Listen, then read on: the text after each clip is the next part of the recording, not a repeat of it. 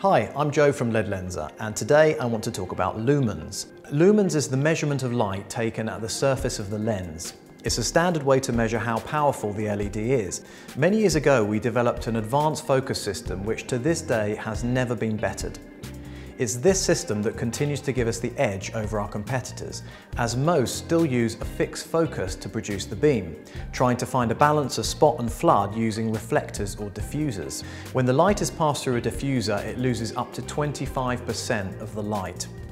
Our Ledlenser range use none of these, instead relying on a magnified lens to give the best performance in spot and the widest flood beam that gives a superb uniformity of light. When compared in lux, our products give almost double the light and it's a much more accurate representation. My advice when choosing? Take the Ledlenser Challenge first.